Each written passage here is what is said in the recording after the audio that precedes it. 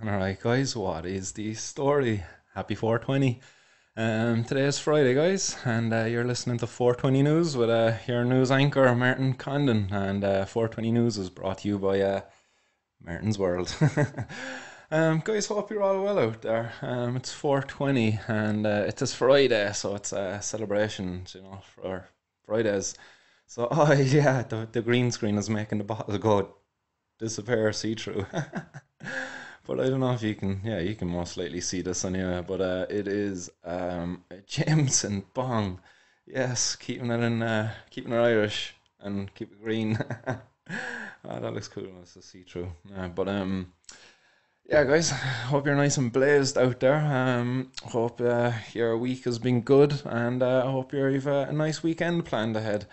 Um, I know I have uh, a few bits and pieces to do in the news today. Uh, we're going to be going from Spain to Mexico to America to Malaysia to New Zealand back to the UK, and then we're going to finish up in Ireland with a little PSA brought to you as well uh, along the way. So, um, to get things cracking, guys, in Spain, um, the Spanish authorities over have, um, yeah, they've uh, found some um, why isn't that there now? Uh, one second. So I have. Uh, let's hope this happens anyway. Yeah, I think this might work. Um, but anyway, in Spain, um, the authorities over there have uh, seized 30 tons of hash there um, over, over during the week. So this was uh, an operation that was carried out there over the course of four days and it basically saw like uh, the authorities uh, see, stopping four boats and they found 30 tons of hash. That's a lot of hash like. Um, they say that this hash is uh, this seizure was going to be one of the biggest ever uh, made on sea um, by the authorities over there in Spain. So uh, you know well done to them guys I suppose. But meanwhile you know Spain has a kind of a, a thriving uh, cannabis scene anyway I know it's somewhat illegal and things like that, but um, yeah, it's just it's strange uh, that this is kind of yeah what's going on over there. But the guys who got caught in this anyway, they say they're a part of uh, the the world's largest uh, hash smuggling operation that gets carried out uh, by sea. Um, it's a Bulgarian organization, um, so it's not even run by Spanish people. and um, there was nine people arrested uh, in this seizure, and uh, there was Bulgarians and Russians uh, in the mix there of those nine people. So um, I have a little video there that I'm going to play for you, and uh, fingers crossed this goes well. I had a little bit of a hiccup trying to play a video there last week for you, and it caused all sorts of issues. Uh, it caused lags in the video, and the sound wouldn't even play. So um, fingers crossed, guys. Blaze one up there for me. Um, so uh, just transition on over there after this video and see how we go.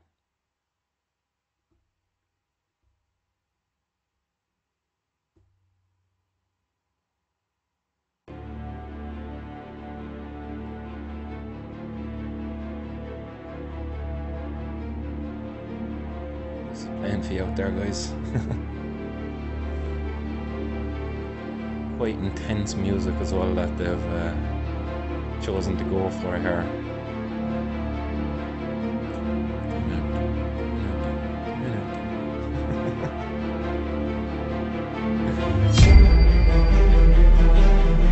serious?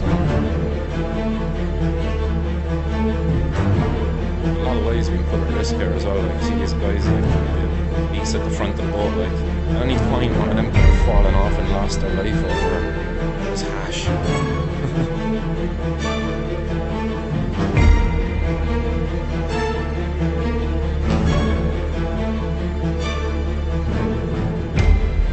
so, like, there you go, guys. Uh, hopefully, you were able to see that out there. Um, it looks like you are here on my side anyway, and hopefully, fingers crossed, the sound went good there for you as well. Um, I can't see your comments coming in here uh, on my side, um, so if, if, you are trying to tell me, and I welcome um, you give me one second, I turn off this guy. President... Shush up. Um, Chris Wallace, who are you, man? Get off my screen. um, but uh, anyway, in, in other news in Spain, you know, so while we have the, the authorities on one hand going out there, like carrying out a massive raid like that, um, you have other people in Spain, you know, sensible people with their head you know screwed on correctly. Um, you have this uh, lady here um, goes by the name, and I apologize now if I butcher your name. I really do. Um, it's Joshua uh, Gorsup. Um, so she's a member of uh, Congress of Deputies there in uh, the, the Spanish uh, Parliament or whatever government, and um, she she put a question towards the government on uh, when Spanish patients would be able to be prescribed uh, medicinal cannabis products because currently uh, it seems like medicinal cannabis products are not generally prescribed in, in Spain. Um, I know, as I said earlier, now they have a kind of a, thriving cannabis community over there where there's clubs and uh, kind of networks like that where people are able to, to source cannabis and cannabis products quite easily. Um, still, they can't do it though with the like approval of the mainstream medicine, you know, and their GPs and what have you over there. So um, that that's somewhat unfortunate. Um, but she put the question anyway to him when when this would be, you know, when will the Spanish patients be able to get access to these medicinal cannabis act, uh, programs? No, geez, the, the medicinal cannabis products. geez, I'm mixing uh, up the, the words there, but uh, medicinal cannabis products. Um, so they basically the response from the government was there's insufficient evidence uh, to support the generalized medicinal use of cannabis so there you go, like the, the Spanish government still hopping on that old age old kind of thing, like, oh, there's not enough evidence there. Yet meanwhile, there's thousands of people in their country who get access to, the medicinal cannabis and they, they, they scream about the, the benefits that they get from it. But, you know, I don't know, that's not good enough for these guys. Um, they'd rather continue wasting, I don't know how much money they wasted in that operation.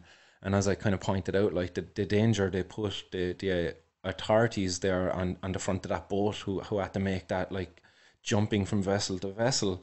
Um, crazy stuff like jump stuff you see in the movies there really and uh, all over water, a bit of hash like it's ridiculous. Like if they just legalized and regulated it, you wouldn't have this kind of carry on at all really like uh, and there wouldn't be lives needlessly be put at risk and patients needlessly suffering either.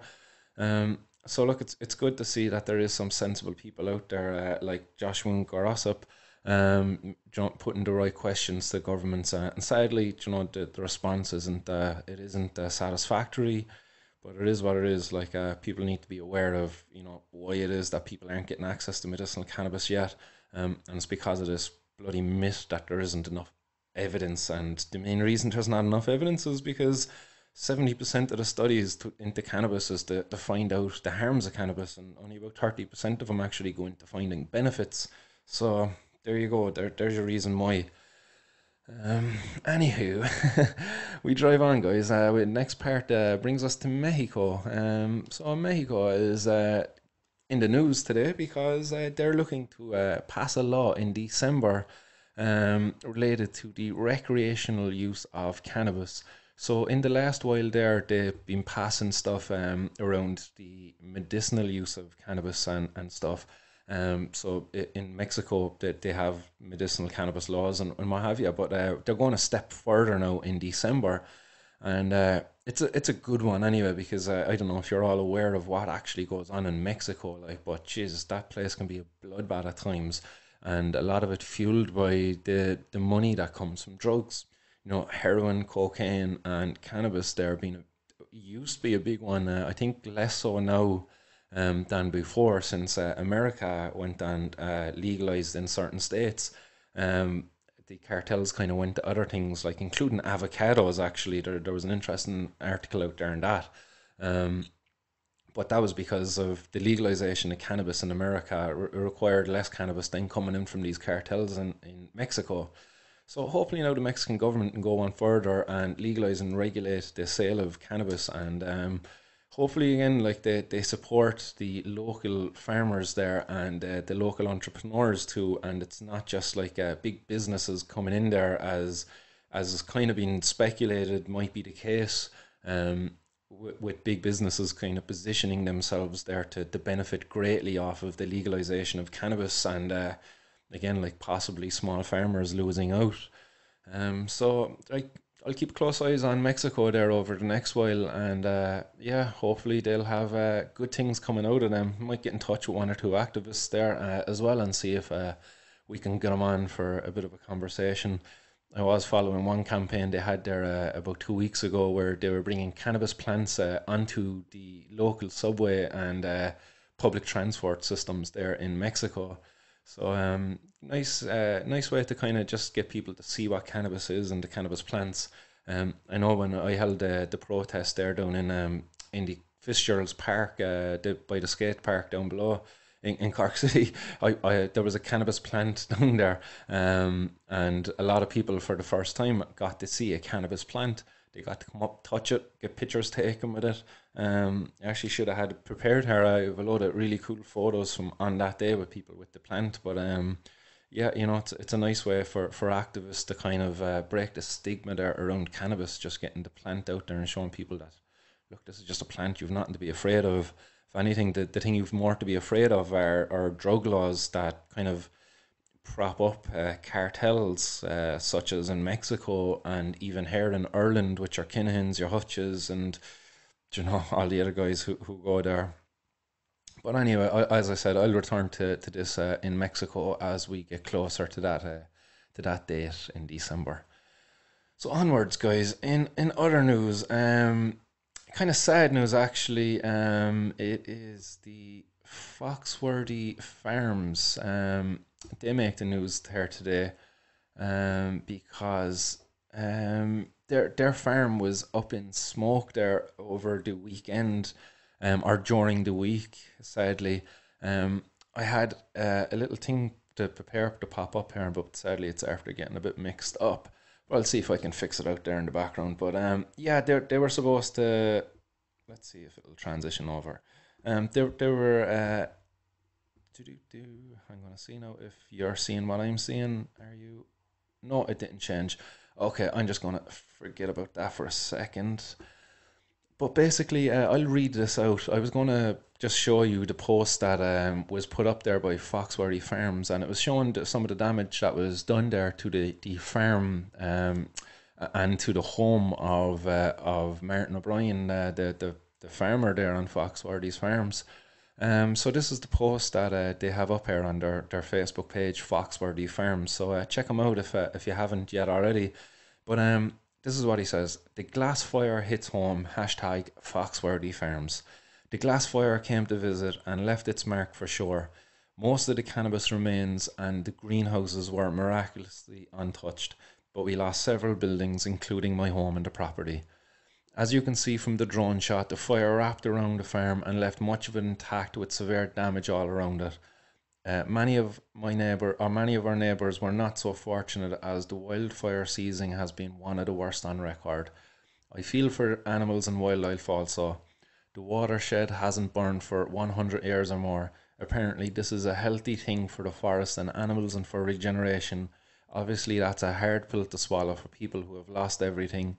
We will move forward, rebuild uh, with love and positivity. We feel incredibly blessed, and thanks to everybody who has reached out with support and positivity and love.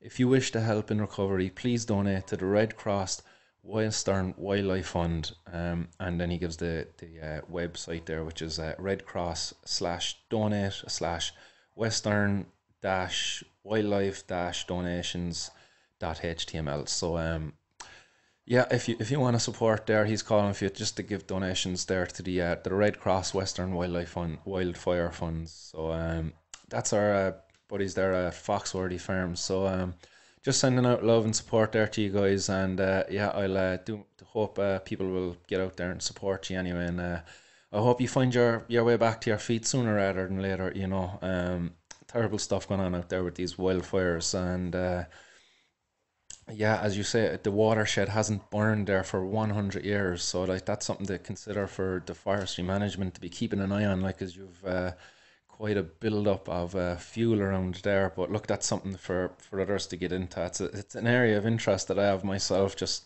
from my own background, actually, as uh, management of uh, forests and things like that. But, um, yeah, that's Foxworthy Farms there. You know, um, I would love to, to taste some of his uh, his cannabis. Actually, it looks amazing. Uh, he does a great job there, and uh, he started promoting his farm recently up in uh, on social media. Started following it, and I was really enjoying it. And uh, I hope he gets back to it sooner rather than later. Anyway, so uh, that's Foxworthy Farms, guys. One last time, Foxworthy Farms. Check them out on Facebook if you haven't already. So onwards, guys. From there, we go to um, other horrible news. Actually, um, yeah, I would. I don't really. I, I wish I could be more positive in this stuff, like you know. But I suppose when you're reporting the news, you have to give the good and the bad. And sadly, a lot of the times with cannabis, um, it's bad, especially when it comes to Ireland. Like uh, nine times out of ten, the news coming from Ireland on cannabis is bad. But I, I think for Malaysia as well, like uh, it's not any different, to be honest. And um, here we have uh, uh this poor Malaysian man um, who was sadly caught in possession of um, 208 grams of cannabis. Like 208 grams of cannabis this guy was caught with. And guess what his punishment was? Like, do you think it's a life prison sentence in, in Malaysia? No, this guy is getting sentenced to death. He was caught back in 2018 um, with 208 grams of cannabis in a food court. And uh, yeah, he, he wasn't able to prove that it was personal possession. So they're like doing him for trafficking and dealing and, um, you know, as per section 39b um, of the Malaysian laws, uh, no person shall, on his own behalf or on the behalf of any other persons, whether or not shall any person in Malaysia traffic in any dangerous drugs. I think they should waive it in this one. Like it's it's not a dangerous drug. Like come on, get off the stage. Um, it's cannabis. It's it's not a dangerous drug. It's dangerous if it's abused and misused. If it's in the hands of kids um, you know, things like that. If you know, in the hands of kids and not under the supervision of ad- adults, because I understand there are kids out there who need to use cannabis for medicine. So like there, there's a there's a reason for it all the time, but like this guy, like he's gonna sadly lose his life now. He's uh he was caught in 2018, so he spent now the best part of two years in a Malaysian prison, and just recently now they they, they kind of went ahead and uh, they're gonna send sentence him to death for this. Like this is sad. Um, sad. Like this is 2020.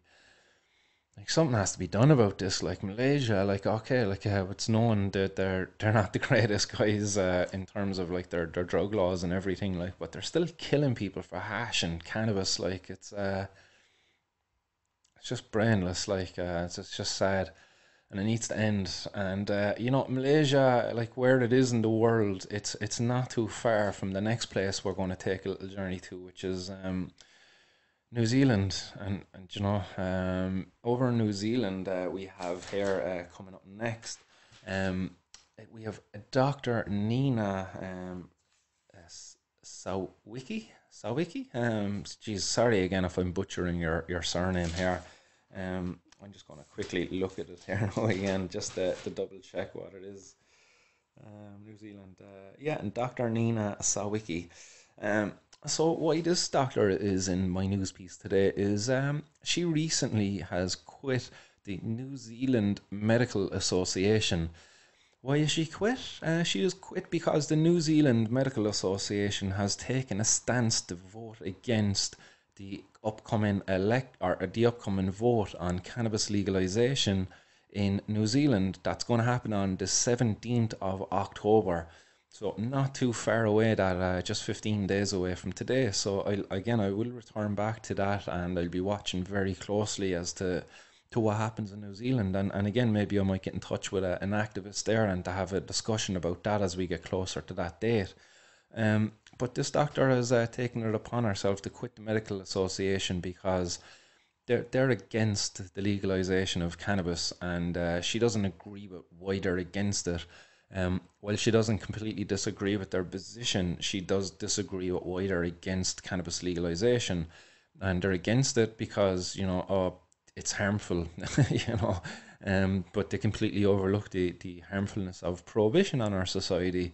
Um, so props to this doctor anyway for taking a stand, and uh, I I'm not too sure if there's other doctors there after taking a stand also with her, but um I, I know there is definitely um, a muddying of the waters trying happening over there, you know, with medical associ- associations like this trying to take a stance, and that can um, mislead people because some people would think that the, the association, when they take a stance like this, that they're representing the views of, of all their members, but they're not. And, and even the medical association has come out uh, since the resignation of this doctor and um, and stating that that look uh, their stance actually isn't representative of all of their doctors' views because it, it is quite a mixed uh, uh, bag of opinions there, I suppose. Um, I couldn't say like uh, where where it sways, whether there's more for or against, but there's definitely a mixed bag of opinions there. Like there's doctors who think it should be legalized, uh, and there's doctors who think it shouldn't be. Um, but medical association coming out and taking a hard stance against something, um, you, you would think they would have the unanimous support of their, their members. Um, and again, it is incredibly misleading then to the uh, to the general public who would look at this group and think like, oh, I should follow this group because look, they're they're the medical association. They surely know what's best for us. But sadly, like uh, maybe they've vested interest, maybe the pharmaceutical buddies, they're kind of giving them the old backhander, brown envelopes. You know, maybe the New Zealand politics is a bit like Irish politics um, when it comes to these quangos and medical associations and all of that crack. Um, but yeah, that that's New Zealand, guys. Fee. Um, I, as I say, I will return to New Zealand um, as we get closer to the uh, to the vote that they get to have there. Again, it's a it's a non-binding referendum. The government doesn't have to follow the, the what the citizens vote for. The citizens could vote for legalization. The government could not go ahead with it. They could vote against it, and the government could still go ahead with it. so um, it's it's an interesting one to watch anyway, that's for sure. And I would love to see something like that repeated here in Ireland. I would love to see a non-binding referendum on these issues. You know, the the legalization of cannabis, the decriminalization of the drug drug user. You know, may, maybe uh, opening up our methadone uh, treatment to include like uh, heroin-assisted therapies, where heroin is provided rather than methadone, because methadone is a bit more harmful. But anyway, look, I digress. let's drive on with the 420 news, guys. And uh, up next, guys, uh, we're getting closer to home anyway. Uh, UK. So in the UK, there was uh, at a train station there. Um, I, I don't know uh, if you've frequented a, a, train station in the UK, but they've definitely stepped up security over there, and they they like to have drug dogs. Um, standing at the, the turnstiles when people are kind of coming and going from uh, the train station uh, it's quite an interesting tactic because uh, you have to walk past them, you know. So, uh, and a lot of the times, like um, these dogs aren't really going to find you a cocaine um, or heroin, probably. Um, it's most likely going to be cannabis that they're going to find you with for obvious reasons, like seriously, like very obvious reasons. Um, cannabis stinks. Um, I don't know. Uh, I've never really gotten a smell off of cocaine. um, drunkenly smelt it twice, I think. Like, but uh, I don't think I ever got a, a, smell off it, and I don't know if a dog can smell it either properly. So, um, anyway, a dog uh, in the UK took his liking to some poor chap uh, leaving the UK, leaving one of these train stations. Um, so uh, this was on January fifteenth of this year and uh, it's interesting actually in the UK, they're, they're quite fa- much faster than the, the Irish uh, justice system in getting people to court for stuff like. Uh, like kind of looking at their their cases there over the last few weeks, kind of reporting these, um, seen an average like maybe three to, to six months kind of a, a waiting time for people. You know, it's a lot quicker like than the average in Ireland. It's nearly a year to two years for your simple possession ch- charges. But anyhow, this guy anyhow on January fifteenth, um, uh, he, he was identified by dogs. the dog said, "Hey, get that guy." Um, and when police officers went to speak with him, there was a, a smell of cannabis off him. So uh, they, they, had a look in his uh, backpack, and uh, they they found a bit of cannabis on him. And uh, they went and searched his house then afterwards, and found even more cannabis. So um, the total value of the cannabis that they found was uh, twelve hundred pound um, I, I don't know what the, the UK police value uh, per gram, but I, I'd imagine maybe he had four to five ounces of cannabis, maybe six ounces, let's say, of cannabis, um, you know, just for argument's sake. Um, and uh, what he got uh, was a 10 month jail sentence that was suspended for two years. He also had to pay a fine or court costs of uh, four hundred and twenty-five pound. He had to spend a hundred hours of un. He did do a hundred hours of unpaid work and sixteen days of rehabilitation um, activity. So there you go, guys. That's in the UK. Like, um, like I was reporting on one there the other day, and I thought it was like, oh, that's not too bad. Uh, a couple of plants and, and decent fines. Um, but now here, like your man, a six month uh, sus- or ten month suspended sentence and uh, suspended for two years or, or whatever it was. Uh, you know, and, and then a four hundred twenty five pound fine on top of it, and a victim surcharge then as well. Like you know, um, kind of ridiculous. Again, he's only crime carrying around a bit of cannabis, having a bit of cannabis at home. Um, I don't know, maybe he, who he lived with in the home, his parents' house. Uh, it doesn't really say about it, like, but a lot of unintended victims there uh, in, in, this. Uh, imagine his parents were at home. Let's say this guy lived at home, and uh, next bang bang bang, in kicks the door like, oh, where's your uh, your son Johnny's room there? Uh, we want to go up and search it because uh, we've him down in the police station there, and we found him a cannabis on him. I mean, he's a drug dealer. like your mom's heart would drop probably like if she if she thinks you're a, a, little angel like you know my Johnny wouldn't do that i no no um, it would break her heart because of the way people believe the stuff to be um yeah it, it it's I again as I say I haven't like touch wood I haven't ever been in there like when cops come and raid a house but um I wouldn't imagine it's too pleasant a situation if I was to extrapolate what they do from when they raided my cars yeah, I've had my car stopped and searched like over 50 to 100 times, last count now at this stage. It's been so much.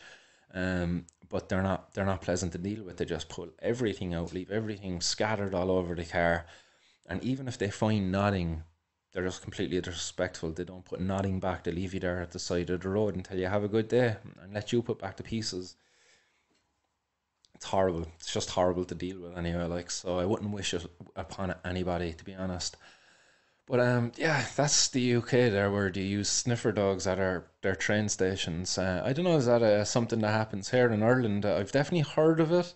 Um, it, it's definitely not something I've seen myself. I, I've heard of it, but uh, it's kind of a, a rare thing. I think. Um, it was probably like uh, intelligence led operations where they actually got the dog out and were waiting for a person or persons.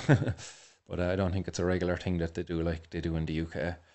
Um, in other news in the UK, guys, um, we have a pensioner who, who made the news. Um, this pop smoking pensioner had a, a huge stash of in his cupboard.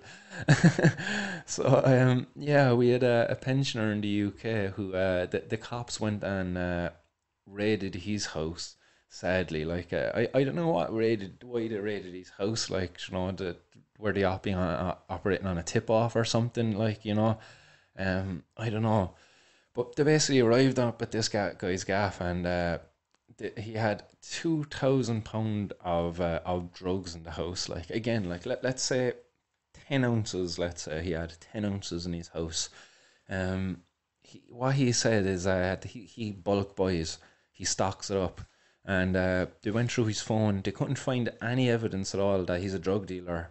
So you know it's it's an interesting case there, and the guy is sixty seven years of age, like um, quite you know, pushing along. Like this guy shouldn't be in front of a judge. Like like that cannabis is probably incredibly beneficial for him. Like at sixty seven years of age, um, the, the the worst disease the body suffers with is aging, and to be pushing on to sixty seven, like you know, it's it it's good to have a tool like cannabis uh, there to help with the stresses of life um, I know the cops have just taken that that source of uh, of medicine away from him, and, they just added to the stress. Then, like you know, so taking away what would have been an antidote to the stress, like, and actually just doubling to tripling, maybe even bloody I don't know, tenfold increase in the the level of stress now that this uh, pensioner has to to go through. You know, um, so he he uh, let's see, his uh, case, uh, yeah, he he was again bound to the peace for two years. You know, he he wasn't uh, given any um, prison sentence or anything. Um, but if if he's to be found back in front of the uh, to the judge over the next two years, he'll come down heavy on him. Um, so yeah, your man then claimed while he was in court that look, he's been smoking it for thirty years, and he smokes one ounce a month. You know, he said that he's an addiction, but I imagine that's something that his solicitor probably made him say, like, you know, just just say you've an addiction there, lad. Look, you're, you're smoking 30 years, yeah, but you're heavily addicted. Look, yeah, yeah. Um, you know, uh, yeah, yeah, he's, uh, uh, yeah, hopefully uh, he doesn't pop up uh, there in, anyway over the next two years for the cops. uh, anyway, in, in other news there in the UK, um, the UK's most wanted guy. Um, here he is. So this guy, um, Shahzad Ghafoor, he's in the UK's most wanted list, and uh, not only that, but he's also listed as a, as a cannabis dealer. So um, something just to be aware of, like you know, um, just be aware of what this guy looks like if you're in the UK, and um, you know if you're at risk of maybe buying cannabis from this guy. Um, don't. um, I'm just trying to get it back up here. Know what he was actually up for, but uh, he went on the run in a rent a car, and uh, he crashed with his family it and everything, like you know, and he's still on the run. Um, I don't. His crimes are included, like he got caught with a pile of cannabis, a pile of cocaine, and uh, yeah, he's wanted by the police. He's number eight in their most wanted, and uh, they're saying don't approach him you know, he's dangerous. But the main reason I actually wanted to put this guy in is because of that fact. Like, the, this is the guy you're supporting if you don't know your source um, when it comes to buying cannabis. You know, like a guy who's willing to take a high speed chase with his wife and young kids in the car.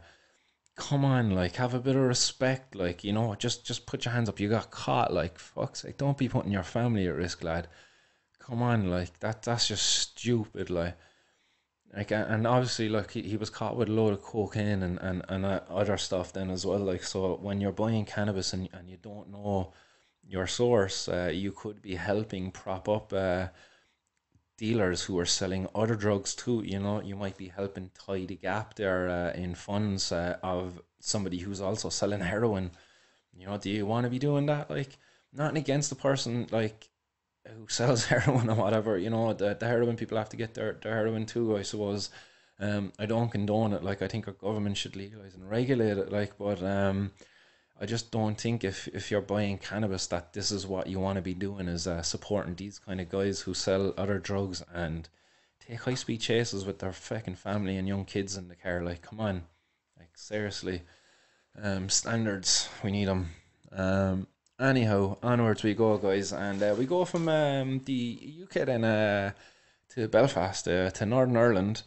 Um, so in Belfast, and again, guys, this links into what I was just saying and know your source, guys. So, uh, eighty thousand pounds worth of drugs seized. So eighty thousand pounds of um, cannabis seized, and oh yeah, two thousand pounds of tablets, uh, diazepam, diazepam um, so there you go. Like, uh, the, this was a bust that was done because they were watching uh, a drug op organization that were linked in with the, the UVF, the Ulster Volunteer Forces, who are basically a paramilitary group uh, involved in fighting against uh, the unification of the, the north and south of Ireland. Um, I yeah, that so that's the the UVF there. Um, again, do you do you want to be supporting these guys? Like you know, um, these kind of guys who who basically like uh, they're they're a menace to society essentially. Um, oh, got on his bally, his AK. Um, this is your paramilitary. This is who you're supporting when you buy cannabis on the street and you don't really know where it's coming from. Um, it's who you you could be supporting. Um, this is why I say to people: grow your own, farm grow collectives.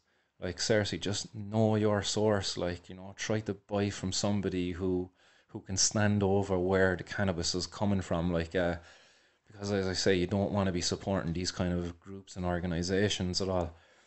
And like, and, and as I say this, like uh, I, I have to point out like that.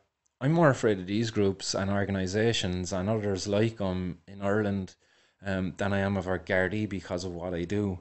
Um, essentially, like you see here in this last slide, like uh, eighty thousand pound worth of cannabis. Like uh, a couple of months ago, there there was uh, 3.2 million worth of cannabis being seized, like, and there was other millions worth seized as well. Like uh, you have groups like uh, the UVF, you have the Triads uh, down south. You've got the the other infamous gangs that I talk about. Um, you know what I'm talking about is to try to take away these guys' bread and butter. I want to legalize and regulate an industry and bring it into the mainstream and essentially clean it of these criminals who use guns and violence to, to prop up their trade, you know. Um, so do I fair Gardaí? Yeah, slightly.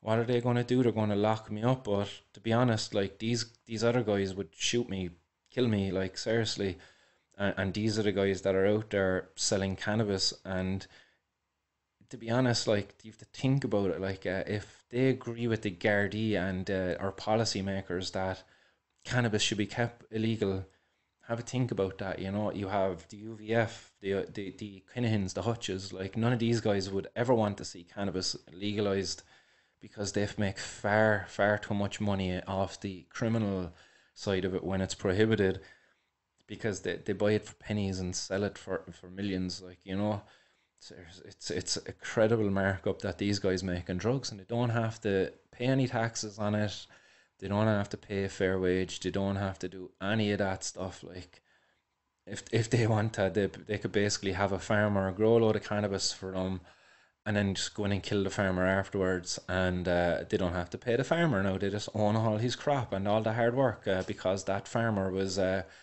a Vietnamese slave over here who didn't even have a passport and, and probably didn't have a word of English to his name. Probably some young sixteen year old like uh, sent over here by his family um, who, who thought that he was coming to a better life and thought that money would have been sent home or something, you know. And instead, he finds himself trapped in one of these houses where his passport and his uh, freedom to travel is taken off him. And that is a reality out there, guys. And this is the reality that you're supporting by continuing to, to keep prohibition in place. So that's that's just uh, that's it. And um, onwards we go, guys. And uh, the next thing I have for you is uh, yeah, I like doing these public service announcements. Uh, this is a public service announcement I have uh, brought to you by Martin's World. so today's public service announcement is uh, to all you guys out there who might have the munchies and who like to go to Subway. Um, Subway's bread is not bread. Completely not cannabis related, guys. I know, but look, uh, if you got the munchies, uh, I I know I love Subway and I love to slap on that Southwest sauce Oh yeah, so uh, sauce like oh that stuff is uh, it's it's crack like oh yum, and uh, your your mouths are probably watering out there now listening to me if if you like it too. Uh, I know mine is starting to water, but look, their bread. Uh, an Irish court has turned around and said it's not bread. It's uh, it's actually a confectionery if uh, if anything because of the sugar content. It's got nearly ten percent sugar. I think uh, is the the headline there um, so that that's ridiculous. Ten percent sugar and the bread is not bread. So uh, just be forewarned, guys. If you got the munchies and you're visiting Subway and he asks you what bread you got, do you want, just correct him and say, no, no, you don't sell bread, guys. Are you stoned? but um, yeah, there you go. PSA for the day. Subway bread is not bread. and onward we go back to more serious things, guys. Ireland's news. Um, so Ireland's news, guys, today uh, it brings us to uh, the subreddit uh, our crown. Uh, it's a, a, subreddit I like to, to visit myself uh, quite a bit, and uh, this one caught my eye here. Um, this guy recently got caught with one joint in a pre-roll tube, and uh, he got ten months bound to the peace with no conviction. Um, if he stays out of trouble. He says that uh, he's happy enough with that, seeing as uh, he is previous for personal. Uh, just got to he's just got to be a good boy for for the foreseeable. Um, so this is coming in there from uh, Dinny Boy 420. So uh, shout out there to Dinny Boy 420. Um, hope you're doing well, and uh, yeah, I hope you're being a good boy. um, but yeah, like that, that's a heartbreaker. Like ten month bound to the peace. Like, uh, like that's just unfortunate. If he gets caught with another joint now over the next 10 months, uh, he gets a conviction and he, he gets, I don't know what else he'll get with it.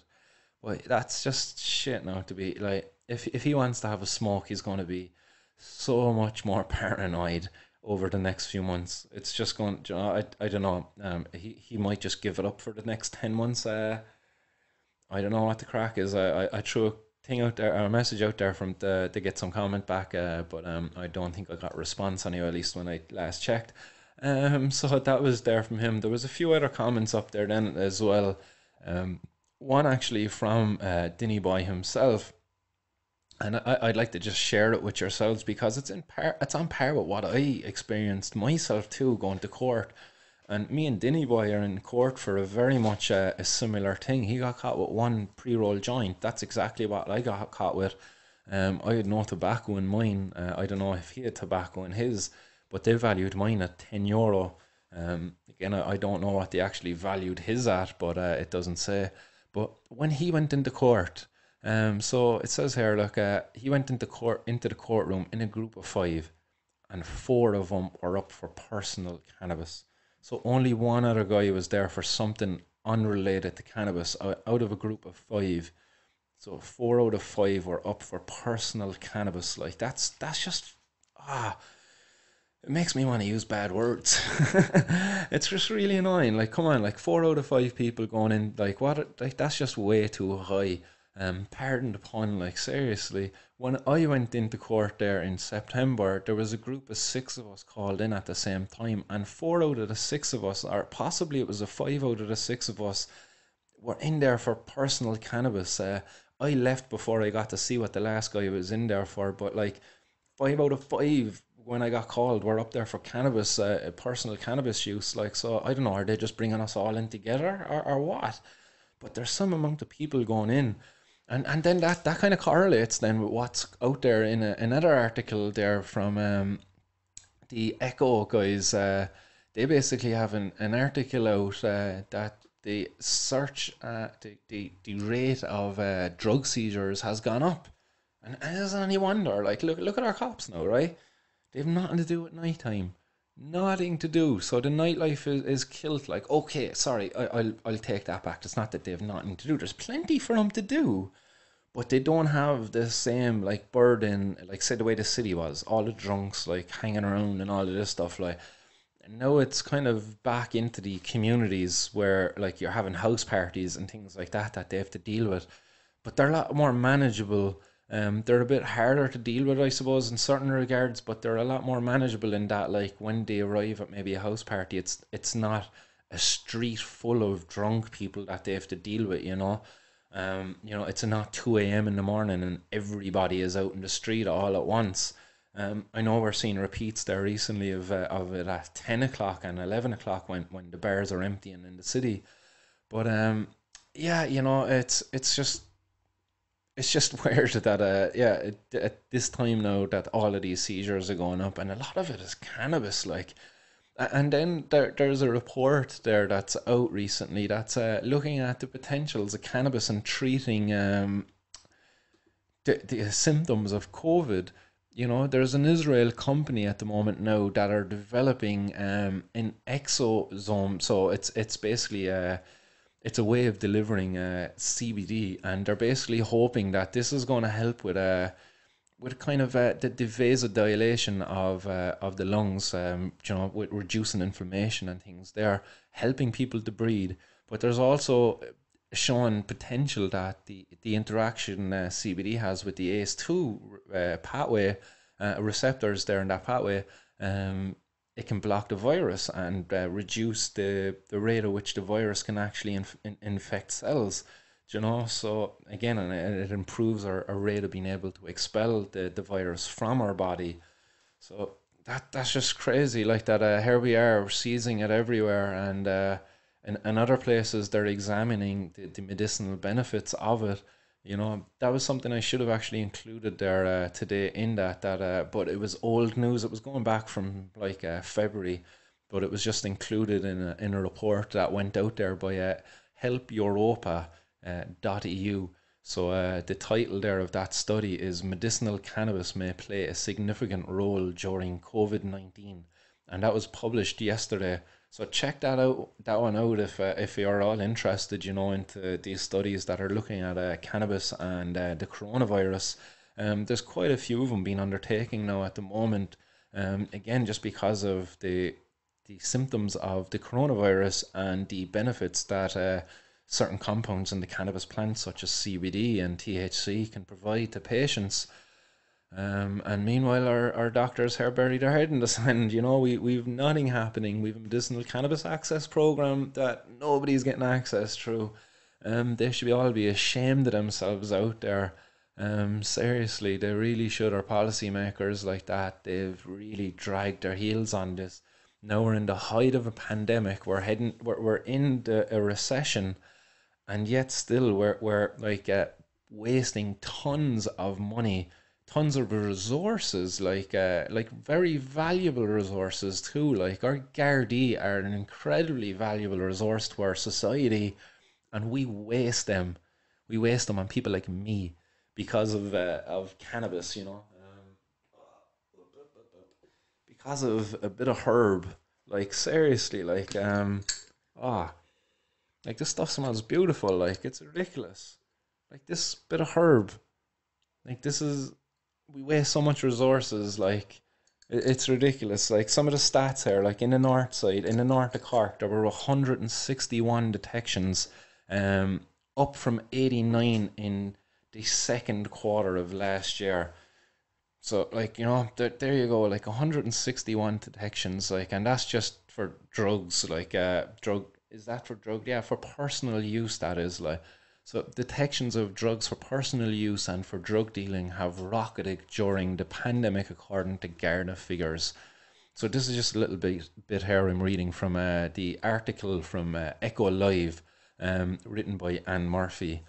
So there, there's the the figures released by the Central Statistics Office uh, showed that there were 306 detections made in Cork City for drug dealing um, in the second quarter of this year um, compared to just 193 in the same period of last year. So that was for drug dealing actually there. So it's up 160, 160 odd. So that, that's crazy, like. Um, however, in West Cork, the situation was the opposite, with the direction for personal use down from 93 in the second quarter to 54. So they're getting a bit less down in uh, in West Cork, you know. Um, so there, there's there you go. Like uh, the the rate of detections in the city is going up. Um, that means that Gardaí are spending more time now dealing with drugs than they are dealing with real crime.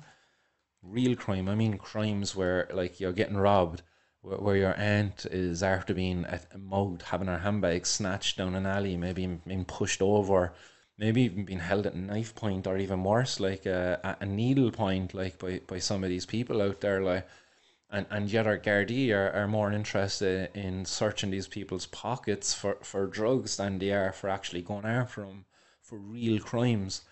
You know, I was sitting down having lunch there at a, a was a Bunsen a few weeks ago with my buddy, and uh, we were sitting down outside, and uh, these two undercover cops come walking down. Didn't know they were undercover at the time until they walked up to this homeless guy who was sitting there uh, begging at the side, and uh, they went and searched his pockets like just ridiculous. Like it was just it really annoyed me that day. I went and actually took a photo of the cops. Um, I have it there on my phone still. Should share it here too with you. Like, but uh, the two undercover cops, like, and they went through your man's pockets. Like, Youngfield was sitting there, like, uh, he he was probably younger than myself, uh, like mid twenties, I'd say early twenties, and um, they they went through his pocket. He he had a cup in front of him with a bit of spare change, and uh, they were searching him for drugs. Like, uh, unfortunately um, just more victimization. Like uh, they shouldn't be getting this guy up off the floor at all. To be searching him, if anything, just to get him up to help him, like to offer him a real helping hand, and not to just victimize him um, and use him as a, as another number uh, to climb the bloody uh, the ranks and their career ladder. There, as some guards do. As I said, these were two undercover plainclothes officers. Like so, these guys prey I mean, prey like they, they, they use these guys as victims, like uh, to climb the career ladder. They don't care as to the effects of uh, the the work that they do when they're out there. I say, searching homeless people, like you know, that's that's kind of the lowest the low, like that a guard can really go, like is to search a homeless person at the side of the street for for drugs. Like seriously, it's just sad. It, it really is sad, like, um, and, and it's just not what we should be doing at all in our society. And the longer we do it, the, the more harm we're going to be uh, doing on our society. And um, yeah, guys, that that is um, the 420 news for today. Sadly, there's not much actually to report uh, fr- fr- else from Ireland. Uh, there is the guys over at. Um, I'm just going to get my thing. Green Green Lens Media, I think, is their uh, greenlensblog.com. So they recently interviewed uh, Barry, who is uh, who is a local activist here in Cork. Uh, you might have met him. Um, I'm going to get a yeah. He's Barry is the name he gave her anyway. So um, you might have met him if you were in around the city, or he might have actually called to your front door uh, in Cork. Uh, he was the, the guy behind the letters being sent to um, to Micheál Martin or Taoiseach. Um, so uh, that that was him. So get over there, check that out. Uh, Green Lens blog. Um, just double check that. Greenlensblog.com. So uh, there's an interview up there that uh, they carried out with uh, with Barry, and um, yeah, check it out. Uh, there's there's a lot going on actually in the cannabis community there in Ireland. Like uh, there's a lot of kind of momentum building. Like, and uh, I hope to see that that continues to to go, grow. You know, um, I know it's been very hard for us to do things because of this whole coronavirus and the pandemic. Uh, it really blew took the wind out of our sails. Uh, we I was hoping for an amazing 420 this year because uh, the whole month was 420, which was a great opportunity. Like I had uh, a few things planned. Sadly, it didn't materialize because the bloody coronavirus. Like uh, we we have to take that one back. Uh, I think going forward. Um, but yeah, shout out to, to everybody there in the cannabis community in Ireland. Uh, shout out to the guys at Major Smoke Up as well. Um, hope you're all doing well, guys. I uh, hope to see something coming from yourselves there. Uh, in terms of maybe even another little, uh, online thing there that you did uh, where you were passing the uh, the blunt. Uh, just have a bit more fun, keep the community, the spirit alive, and uh, the flame burning strong there in the community. So, guys, that's uh, that's it for me, and uh, hope you've enjoyed today's uh, 420 news. I'll uh, quickly flick on over there to the uh, to the comments section and uh, see what's happening out there with you guys. Um, so let's see what kind of hiccups I had with today's show. Sweet. Uh, first comment here from Dave. Anyway, the video works. Yes. Happy days. Nice one, Dave. And uh, thanks for tuning in today again. But um, it's always great to, to have you along. And Teresa again, you know, uh, another uh, loyal listener there to the to the live show of uh, of Martin's World uh, here on Facebook. So uh, it's lovely to have you uh, along, Teresa. And thanks for your comment there. Letting me know it's all good. Um, Stephen Garland, as uh, the Dutch industry is uh, tightened up, uh, all the growers have uh, migrated south to Catalonia. Um, Spain, me- meanwhile, still run by right wing. Okay, yeah, I, I forget about that uh, thing there with Spain and Catalonia actually, and kind of having a bit different. Um, but yeah, nice one there, Stephen, for your input as well. Uh, thanks very much for setting us out there with that. Um, hopefully, I might get over to you soon, actually, Stephen, as well. Maybe Martin's World might go on tour there to Barcelona very soon. Um, a business related trip, obviously, um, because we can't go on holidays right now um, and all that. Um, King Green, prefer trips to Barcelona, as we say, yeah, man, might might be heading soon, maybe. Prefer trips to Barcelona compared to Amsterdam, but right now we uh, we can't go abroad, no holidays this year. Yeah, man, uh, we can't go abroad on holidays, but um, think uh, we can still do some essential work uh, related trips, and uh, I can't interview any cannabis growers here. Um, maybe I can in Barcelona, so it might make my trip essential. um, yeah, Dave says here he won't be bringing a plant on a bus anytime soon. maybe sometime. and uh, Dave also says uh, in Asia, most uh, countries say that drugs are a crime against the country and community in their eyes. Anyway, yeah, that's kind of like some how some people see it here as well. Sadly, like that by you using drugs, like you're bringing down the community and and all of that. Like you know, think of the children. and uh, Ken here as well. Uh, I was caught in the UK. Please give. Uh, ah, stupid pop up. um, Ken's comment. I, I was caught in the UK. Please give a warning and let me on my way with my weed. Wasn't much though. They probably couldn't be arsed uh, with the paperwork. Yeah, there's a lot of paperwork as well, man. That's the same here.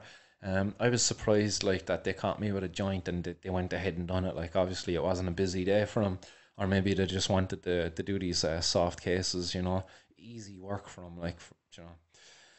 Um, and Ken again, uh, many don't give a shit about uh, the source, just the quality. But yeah, that sadly is the case, man. People don't give a shit about the, the source. But um, you know, I have to do my part and hopefully raise awareness there to, to hopefully just to help people to give a shit and maybe to just spark that uh, that inspiration to go and start growing their own, um, grow your own guys. It's it's you know it's it's the way forward. Like the guys I, that I know who do it, um, yeah, it's it's amazing.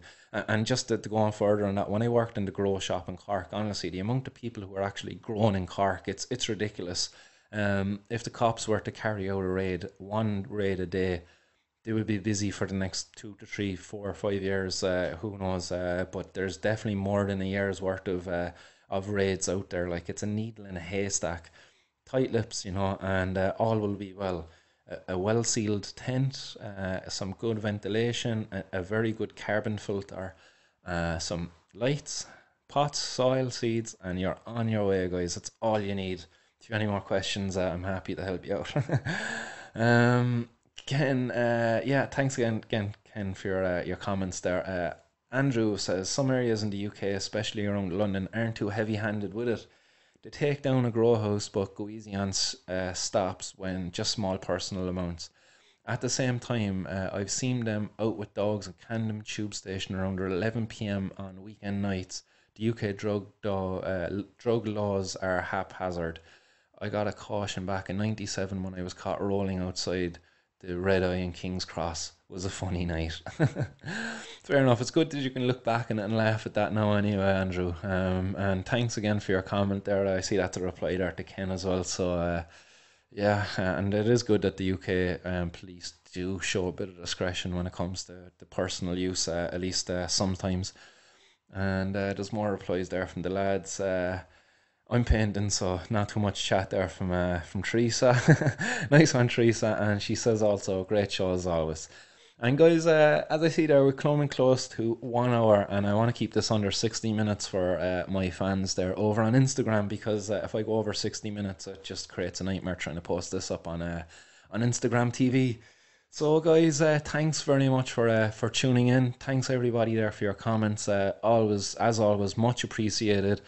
Um, one final thing just to throw out there, guys, uh, as a reminder, over on martinsworld.ie, I have a link up there where people can make donations with bitcoins at the moment, and I also have set up a Patreon. Um, and what I'm looking to do is trying to raise funds to open up a, a, a cannabis activist hub here in Cork. Um, and also exploring looking at doing like a, a non-profit cannabis cafe um, in order to kind of fund this uh, cannabis activist hub. But uh, again, I, I believe we need a, a physical pl- space for us to kind of come meet, organize, and plan things out, hold meetings and workshops. And I also want to set up a little uh, studio inside there for other people who, again, like myself, uh, want to create content um, to help with uh, the, the fight for the legalization of cannabis in, in Ireland. So if you can at all, guys, get over there, show your support for uh, for those two things: uh, the Bitcoin donation and uh, the the Patreon uh, as well. The Patreon is uh, patreon.com uh, forward slash Martin's World. If anybody is looking for that link. Again, all the money, guys, will be used for renting location and uh, for fitting it out with anything that needs to be put into it. None of that money will be going into my pocket. If anything, money is coming out of my pocket for this project. So uh, uh, any support at all will be much appreciated, guys. So uh, as always, guys, uh, keep her lit, stay blazed, keep our country. this is uh, Martin Cannon from Martin's World signing off. Peace.